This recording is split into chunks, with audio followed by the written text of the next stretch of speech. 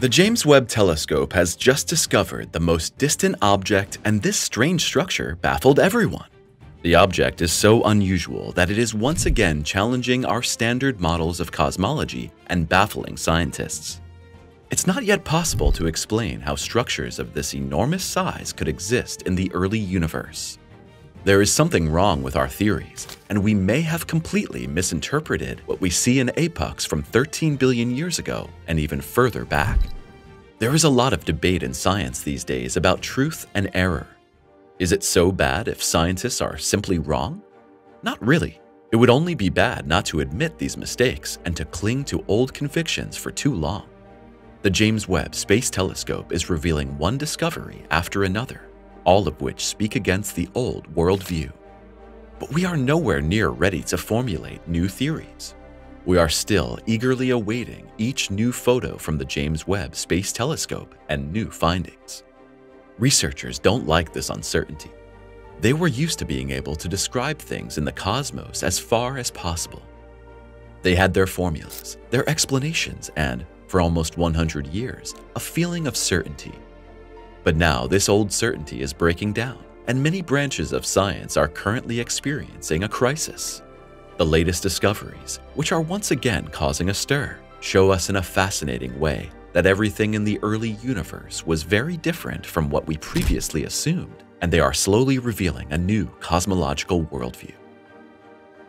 Hubble discovered the galaxy GN-Z11 what hardly anyone knows is that Hubble has already identified impossible structures in the early universe.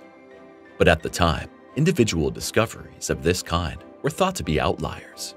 Now we know that this was a wrong assumption and that galaxies like GN-Z11 were the rule in the young universe. It's one of the youngest and most distant galaxies ever observed. The JWST has taken a closer look at this galaxy and discovered even more exciting facts. GN Z11 existed about 13.4 billion light-years away from Earth. This immense distance means that the light we see from GN Z11 today comes from a time when the universe was only about 430 million years old. That's less than 4% of its current age. The existence of GN-Z11 puzzles cosmologists because it contradicts our standard theories about the formation of galaxies after the Big Bang. According to this theory, large, complex galaxy structures would have taken billions of years to develop.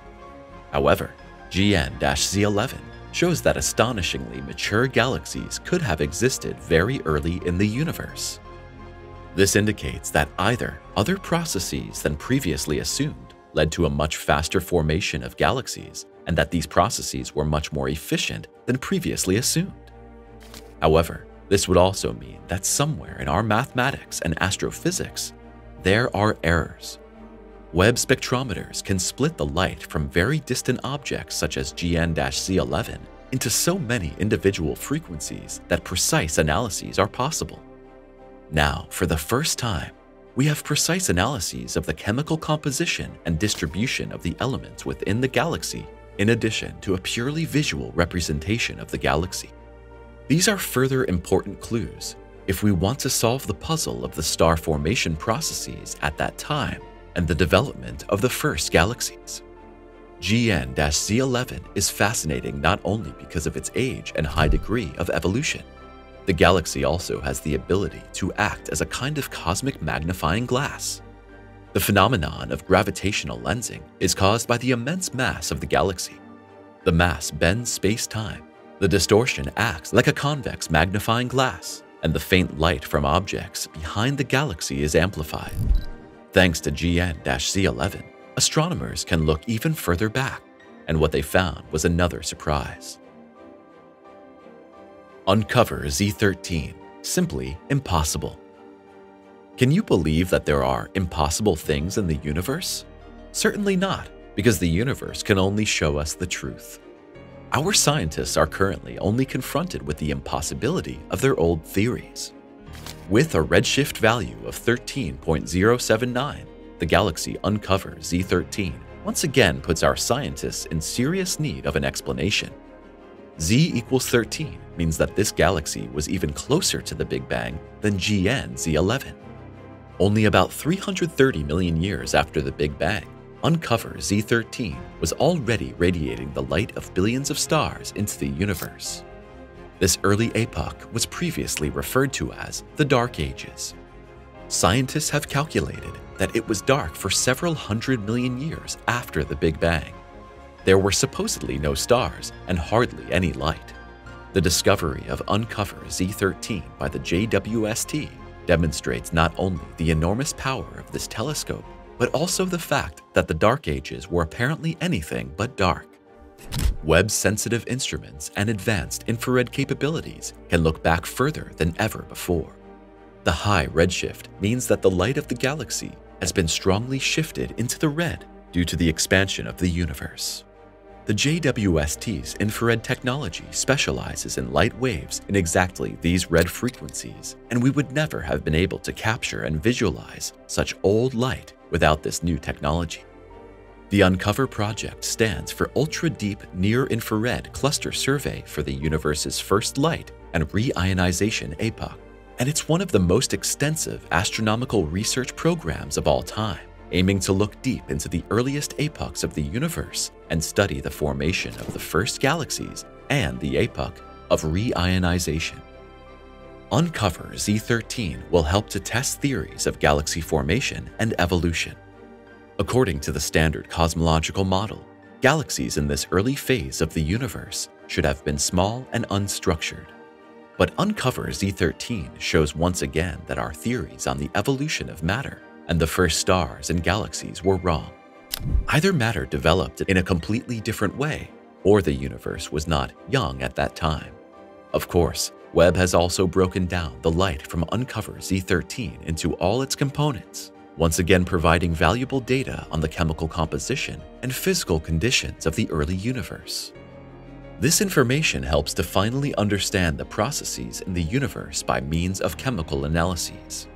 The knowledge about the elements involved helps us to understand what really happened in the past and whether the Dark Ages and the reionization epoch existed.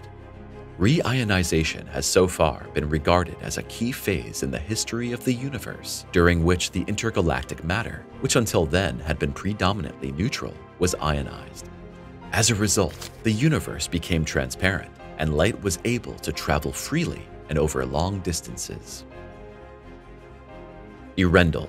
No star is that old. Let's consider for a moment how difficult it is to identify a single star in the early universe. Tiny dots of light on the JWST images are usually not stars, but galaxies. The light is so far away from us that collections of millions or billions of stars look like tiny dots. You can very well imagine that it's practically impossible to see a single star at this distance. But here too, the universe surprises us. The gravitational lensing effect can be so strong that individual, very distant stars actually become visible. In the case of Earendel, this was a stroke of luck because a massive galaxy cluster in front of it, known as WHL 0137-08, optically bent the light of a galaxy behind it to such an extent that this single star became visible at the edge. Earendel appears in the observations as an extremely bright point behind this galaxy cluster and is one of the rarest witnesses of its kind. Earendel is one of the first observable stars that existed in an era when the universe was supposedly just beginning to form its first stars and galaxies. The star, named after an Old English word for morning star, was discovered a few years ago by the Hubble telescope. Here too, the JWST has taken a second look to expand our previous knowledge. Earendel existed 900 million years after the Big Bang, at a time that astronomers refer to as the cosmic dawn. This star should therefore have been one of the first generation, but Earendel does not look like one of these first stars. In fact, it doesn't look much different from today's stars, and so the star joins the long list of distant objects that show no signs of the universe being in its infancy at that time.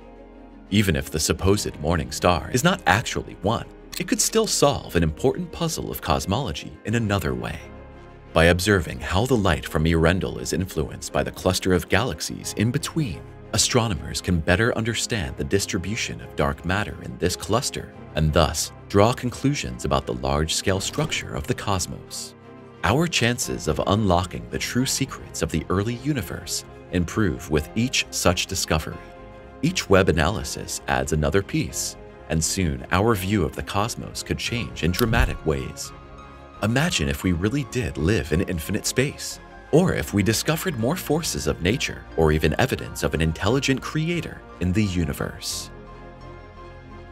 Einstein rings, they are true. Albert Einstein was considered a genius of mathematics and physics. Using purely mathematical means, he predicted a multitude of material phenomena in the universe even before anyone had seen these objects. Einstein took some known quantities, observed dependencies and mutual influences of forces as well as the behavior of light, and then he calculated. In this way, he came to the conclusion that there must be more galaxies than our Milky Way, and he was right. He calculated the existence of black holes, which were also confirmed many years later. And he predicted objects called Einstein rings. These fantastic rings were the last objects predicted by Einstein that were actually found in space. Now, the JWST has even spotted the most distant Einstein ring ever. The phenomenon occurs when the light from a source behind it, such as a galaxy or a star, is bent by the strong gravitational force of an intervening massive object, such as another galaxy or a cluster of galaxies. The result is a spectacular ring of light. The discovery was made when the JWST mapped nearly 500,000 galaxies during an exposure time of almost 200 hours. Researchers hope to use the dynamics between these galaxies and their mass distribution to finally find out more about the true nature of dark matter. The oldest Einstein ring of all time was given the name JWST-ER1. In its vicinity, the density of dark matter seems to be particularly high, and many researchers hope that this discovery will finally provide answers as to how all these amazing objects were possible in the early universe. Click subscribe now and never miss a new video.